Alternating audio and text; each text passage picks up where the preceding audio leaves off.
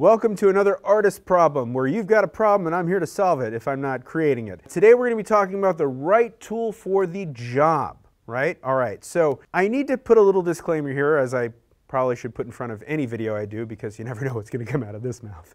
but in the past, I've preached you don't have the wrong thing, okay? So what I mean by that is sometimes, uh, I'll, I'll give you an example, okay?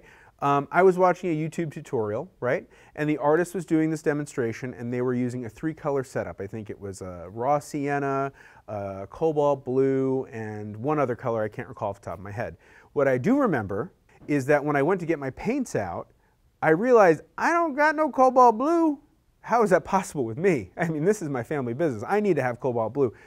Make a note. So what did I have? I had every other kind of blue. I had a cerulean blue, I had an ultra blue, I had a phthalo blue, and I, I had this pause. No, I can't paint along with this person. There's no way I don't have cobalt blue. I have the wrong thing. But my point is, I had to kind of overcome that. You don't have the wrong thing. The tools that you have are the tools that you can be using. You don't have the wrong thing. So what did I do? I used an ultramarine blue in its place, okay?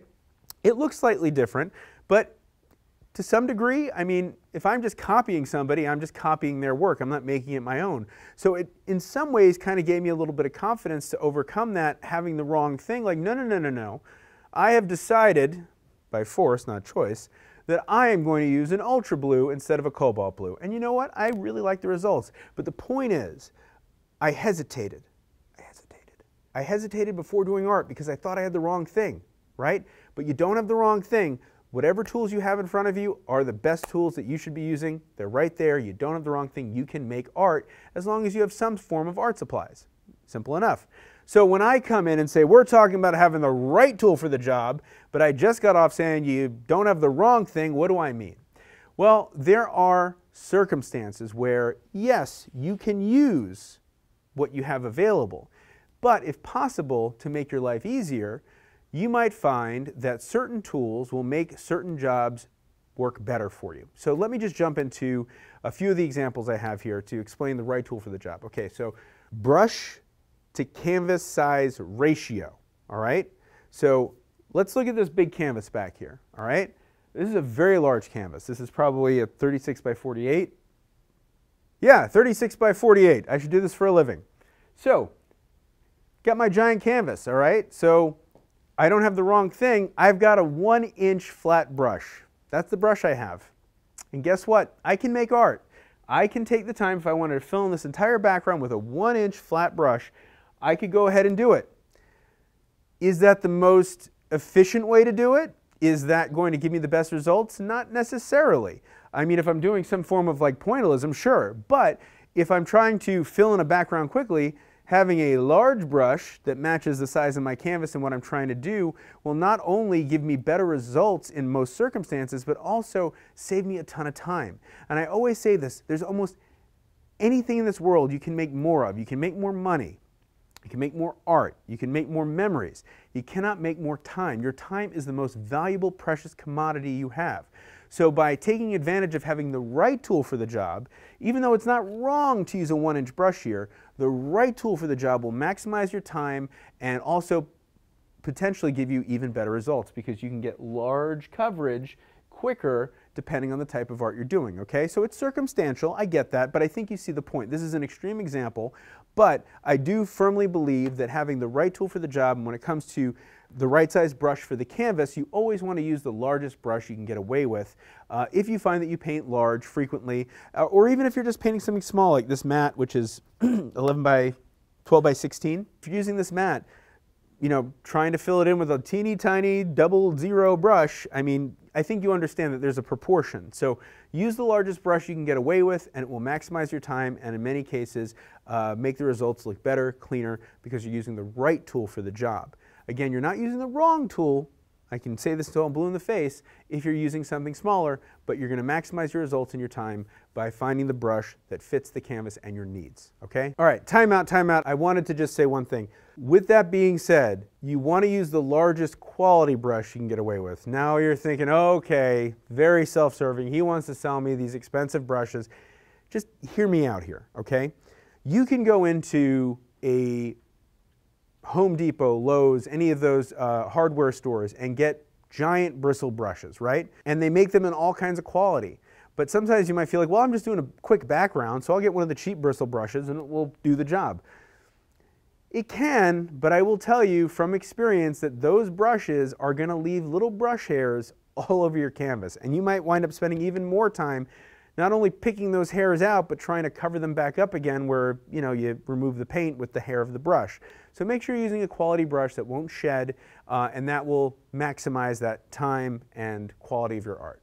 Now, while we're on the topic of this giant canvas, you might see that I have an easel that it is sitting on. Regardless of if you're painting large or small, an easel might be something that would be the right tool for the job for you, depending on your needs. A lot of people, when they uh, are painting um, on canvas, want to use an easel because it maximizes the amount of viewing space they have of their subject to their art. It also can be more comfortable, right? Uh, if I was to be sitting at a table and painting this flat, my perspective is going to be very, very twisted because I'll be looking at the plane at like a 45 degree angle rather than standing up at an easel where it is directly in my line of sight, okay? That can help maximize my results using the right tool for the job. It's not wrong to paint at a table. It's not wrong if I took this and put it up against a wall and painted it. It's not wrong. But if you do a lot of painting, you want to maximize your comfort you want to make sure that you're not getting schmutz on the bottom of your art because it's sitting on the floor where there's lots of dust. An easel is a good investment if you paint frequently and large. Uh, and it doesn't even have to be that you paint large. You, you're painting a subject, right? It's going to give you the best uh, angle for your view. It's going to give you the most comfort, the most flexibility. It can go up, it can go down, I can sit, I can stand, I can adjust the angle even still, I can you know, bring it a little forward, a little back. It gives me flexibility, it gives me options, and there are limited options when you're just putting it up against a wall or on a table. Okay, so right tool for the job if you're doing a lot of painting. Um, an easel can be a great investment. Not necessarily needed for everybody, but a lot of people that are serious painters, man, having an easel will really make your life easier and make your painting experience more enjoyable because you are comfortable. And not to mention the fact that you might be even happier with the way your art looks because you're not trying to fix perspective of looking down at something, but you're seeing something head on over here. Does that make sense? It might, it might not. We got an H-frame easel on wheels. It spins, it folds flat, it goes up, it goes down, it adjusts angles. The wheels will lock so it doesn't roll around as you paint.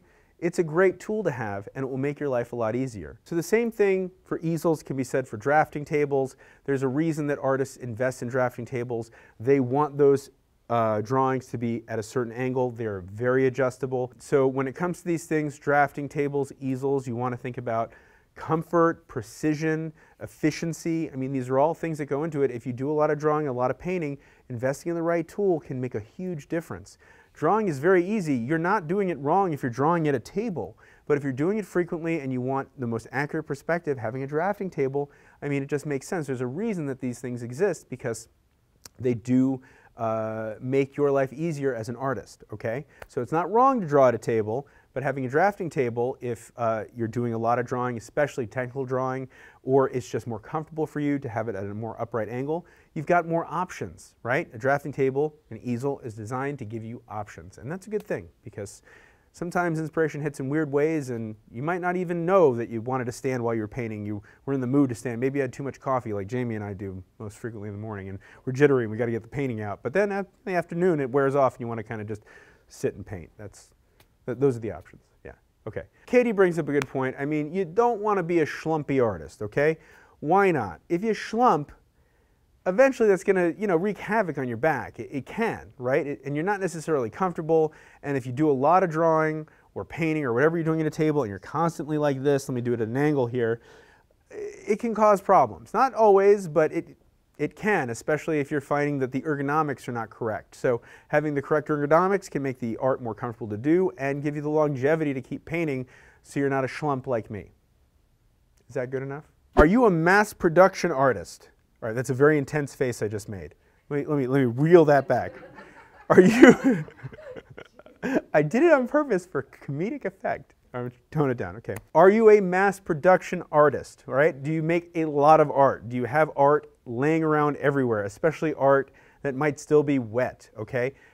If you do, and you want to keep those that you live with or your animals that you live with happy and not take up every horizontal surface in your house, investing in some type of drying rack or storage system might be a good investment, okay? It's not wrong to lay your wet paintings out on a table, but if you want to use that table, you might wish that you had another place to put it. So we've got all kinds of drying racks. We'll throw up a few examples on the screen here.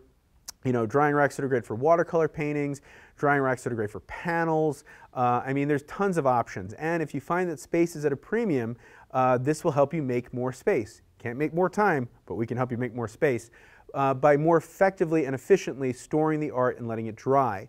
Uh, and even if it is dry, it's also kind of nice to have it where you can easily get to it depending on the type of art you're doing, how you're selling it, if you're selling it.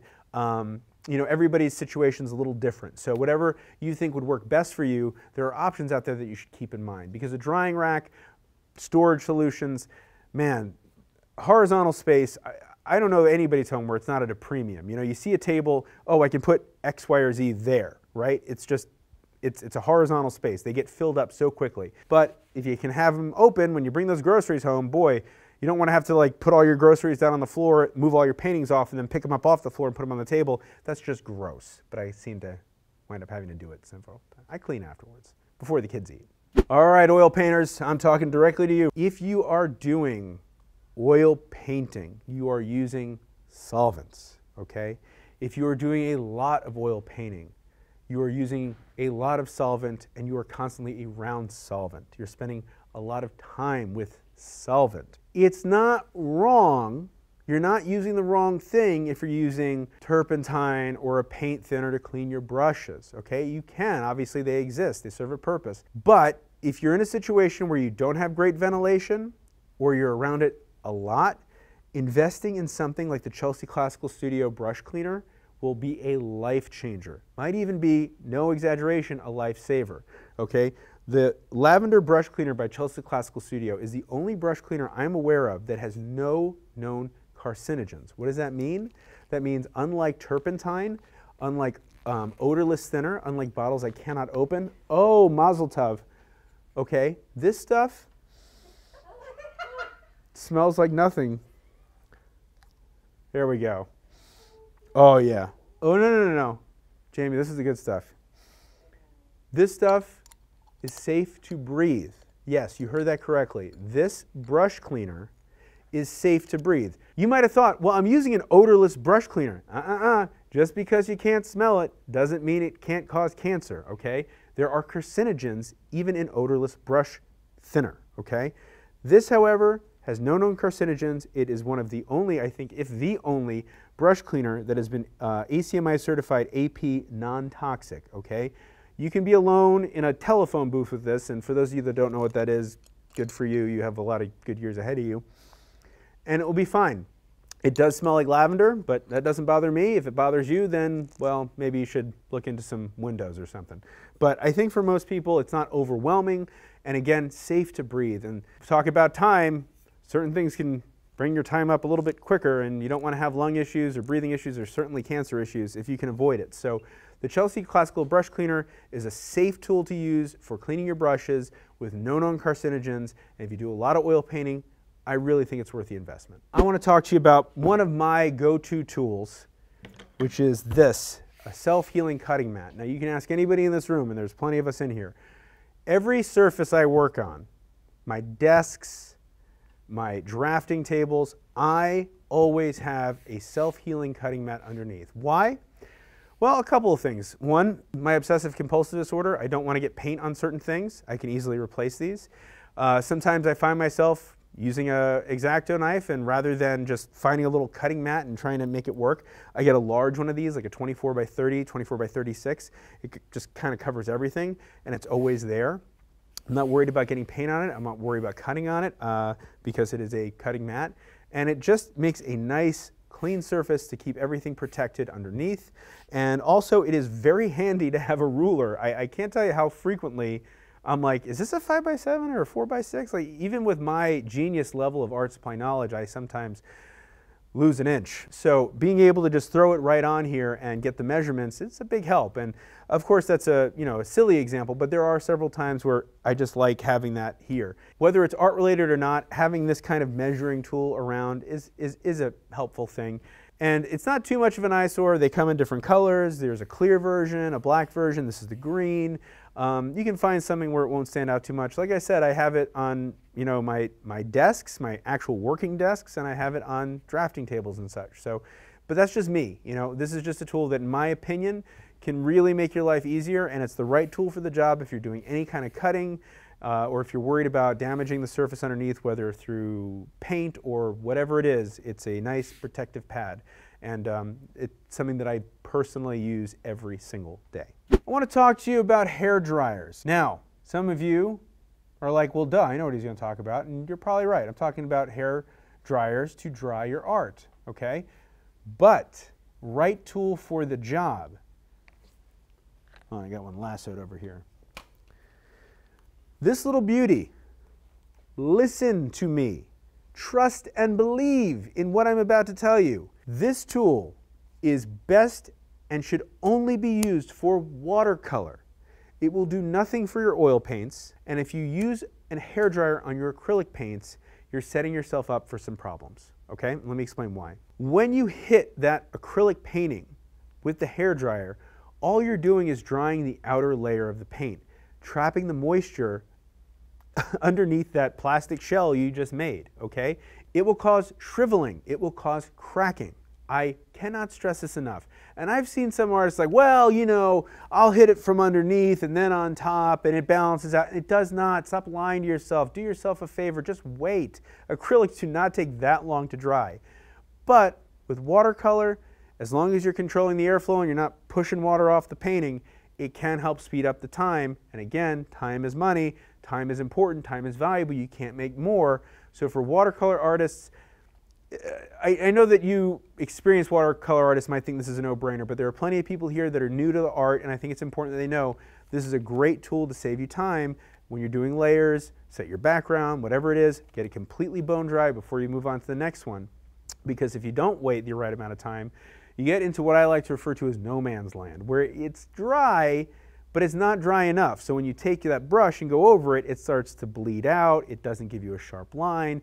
It, it's not what you were looking to do if you had had it bone dry, okay? So for watercolor artists, the hair dryer is a very handy tool, but I do not recommend it for any other type of painting experience. Now, speaking of sharp edges, all right, I think a great tool, whether you are constantly needing straight edges or maybe you just do a particular form of art or you want to create borders, I cannot stress how handy it is to have painter's tape, okay? This is a form of masking tape that has an adhesive on it that's meant to be removed, okay?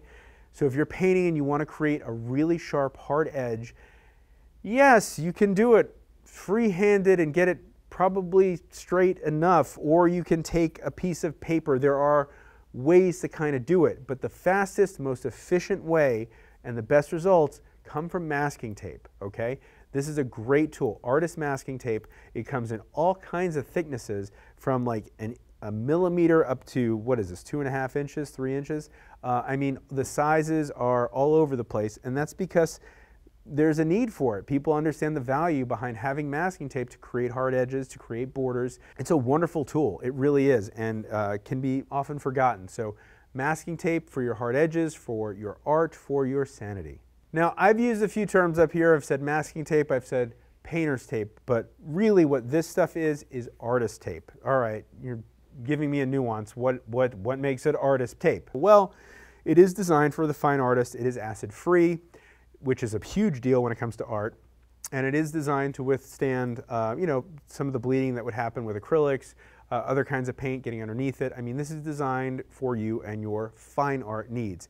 Painter's tape is great if you're painting a room, and you can use it. You're not using the wrong thing if you're using it for your paintings. But again, best results if you're doing a lot of hard edges, a lot of um, straight lines, borders, an artist painter's tape, an artist painter's masking tape is the right tool for the job, especially because it is acid free. That's a big deal. And it comes off cleanly. All right, if you work with graphite, colored pencils, okay, anything that's encased in wood or in some cases just pure pigment or graphite, you own a sharpener of some type, okay? It's just goes without saying. However, there are sharpeners and then there are sharpener or ers, okay? And I'm talking about sharpener or ers, okay? What that means is a sharpener that will adjust the size of the wood to lead or point ratio. So we've got these T'Gaal sharpeners here, and you can see that there's, there's a dial on it, okay? Starting at the one, when you sharpen the pencil, you're going to get a very sharp, stubby point, okay? For some artists, this is great because um, you're gonna you're gonna be able to have very very fine control. You're not wasting a lot of the um, pencil when you're sharpening it because you're saving a lot more of the wood, keeping it that sharp point. And so in that case, if you're using something very expensive, very expensive pencil, very high quality pencil, uh, watercolor pencil, colored pencil, graphite pencil, you want to maximize their lifespan. However, on the other hand, turning the dial all the way over to um, the uh, the 5, that's going to give you a long point where there's going to be more of that graphite or colored pencil exposed. And that's a really great tool too, especially if you're trying to fill in a larger area, sort of going back to that point number one, using the right brush for the job. It also goes for colored pencil. If you're trying to fill in a large area, having you know more of the, the lead showing is going to give you a, a, a quicker and more even uh, distribution of color than if you're using a very sharp stubby point. Now, this will still make a sharp point, it's just a longer point, okay? And we can actually put an example up on the screen in a photograph here that you can see the, the one versus the five and what those look like. So it will help save on the investment of your pencils and it will also give you maximum control of your art. And it's not a very expensive investment to make, but I think it will make a big difference if you do a lot of drawing. Uh, it is the right tool for the job. The sharpener you have is not wrong, but if you do a lot and you want to maximize that availability, you want to maximize that quality, you want to maximize the amount of time and money you're spending on art supplies, this is a tool that you don't have to replace very frequently at all. Unlike the pencils, where if you go through them a lot, you'll have to replace them, so you'll have to replace them less. It just makes sense. To me, in my opinion, it makes sense. Now, lighting. All right, this is very nichey. The light you have is not wrong, okay? But having a light, especially a color corrective light, that is not only on your art, but on your subject that matches is ideal. If I'm painting outside, right, the light that's hitting my canvas is the same light, more or less, that's going to be hitting my subject if I'm painting plein air. Inside the studio, you might be shining a, a you know, a bright spotlight that's, uh, you know, 2700 Kelvin, a very yellow light on your art, but have like a 5000 K, a very blue light bulb on your canvas. That's, that does not equal great uh, color mixing and matching, okay? Having the same light from subject to canvas can be a huge advantage uh, if, if it is especially in a more dramatic difference.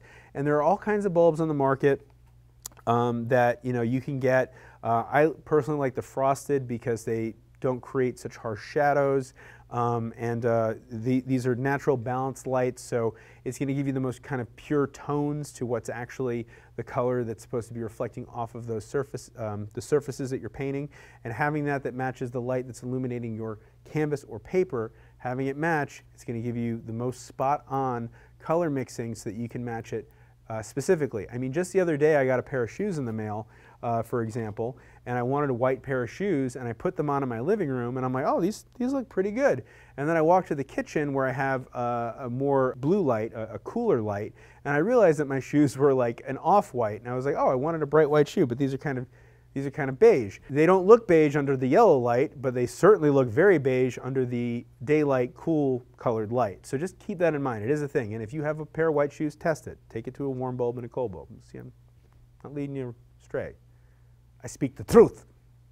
All right, so one of the final things that we want to wrap up is to talk about palettes, okay? Now, it is not wrong, right? We're not using the wrong thing if we're just using a paper plate for acrylics, all right? However, with that being said, you can't really save that too well. You're not necessarily going to have the best mixing area. It's not necessarily going to be the most ergonomical, okay?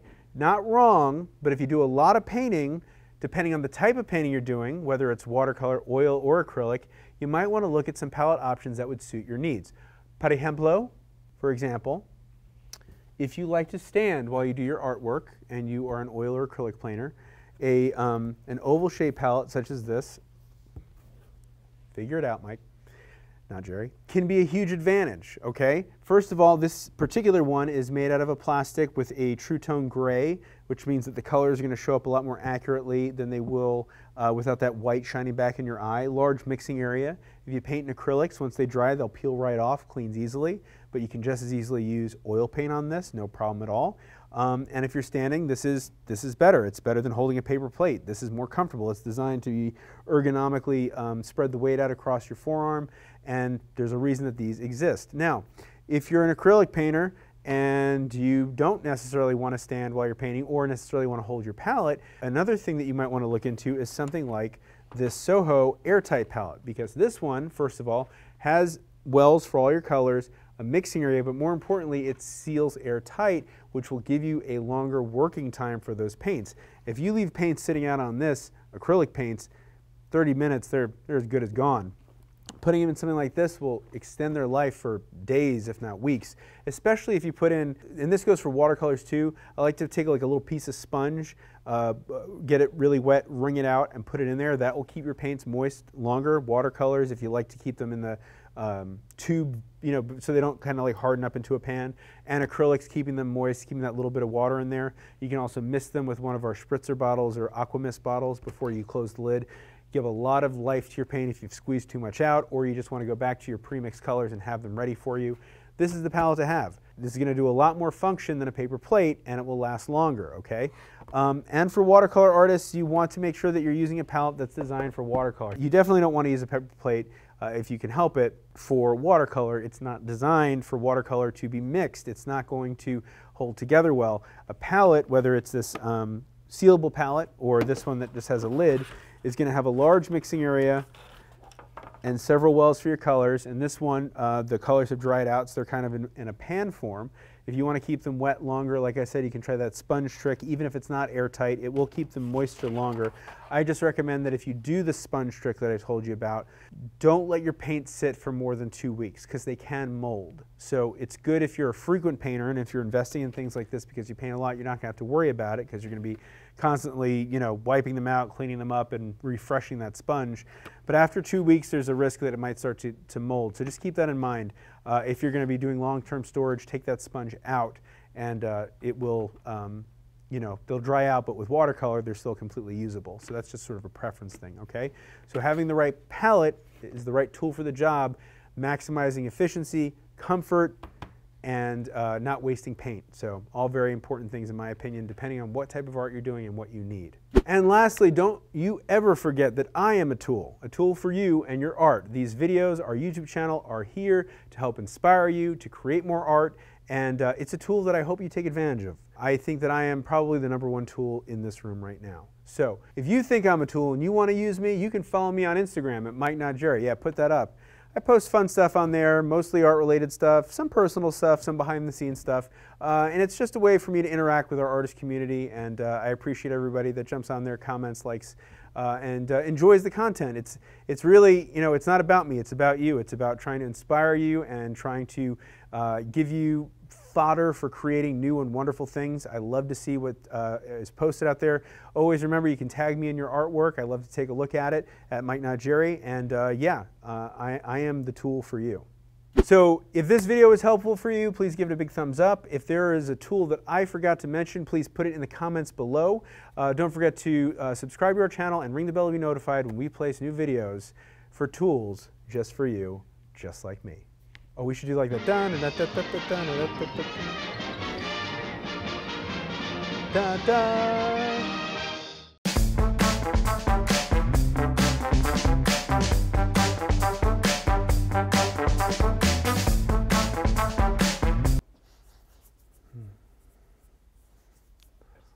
I'm walking through Provence.